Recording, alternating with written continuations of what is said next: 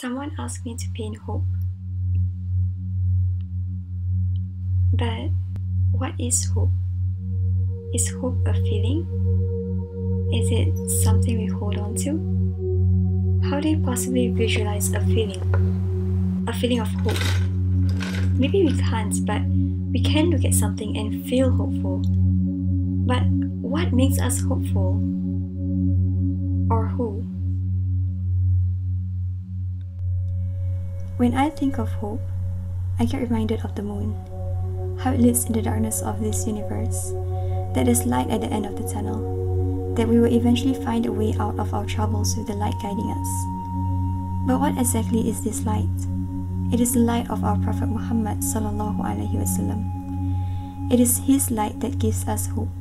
It is his light that guides us, the light that shone to the sky above when he sallallahu alaihi wasallam was born. The light that was said to be more beautiful than the full moon when a companion looked at them both. With his presence, there is hope, and this was what inspired me to paint this picture. The song that kept repeating in my head was Tala al Badru Alayna, a poem that was sang for the Prophet as he arrived at the blessed city of Medina.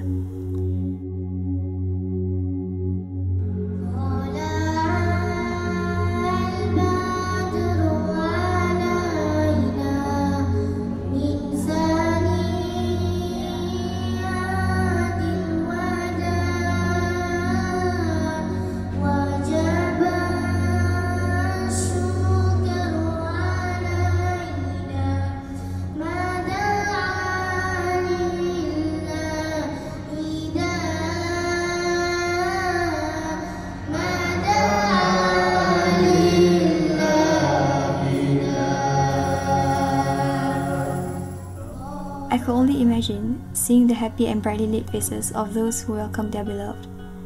How lucky were they to have met and felt the presence of our Prophet Muhammad wasallam. But to you who are listening, to you who are looking for that hope, that hope is buried deep, deep within us.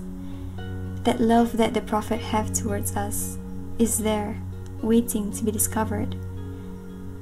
We've heard stories of how, with the presence of the Prophet ﷺ, wars ended and people got cured. And just with his gaze, hearts melted. Everyone wanted to follow his footsteps and his beautiful character. For how can we not want to be like someone who is truly loved by Allah subhanahu wa ta'ala? We all want to be loved by Allah as well. And so we ask, how then can we feel his presence when he is no longer here? But why do we only limit ourselves to physical presence? One thing that the whole pandemic had taught me was to be spiritually present. To find connections beyond physical means. Like, let's say you have a meeting online. The person isn't exactly with you, but you can still see them, talk to them, and connect with them.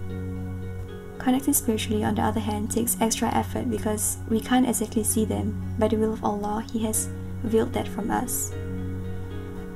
But I guess that's the most beautiful part. Though you can't see, you can feel. Just like the wind, you can feel it, but you don't see the air.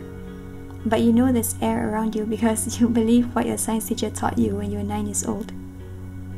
So, to find this unseen light, you have to find the source and how it still exists until today.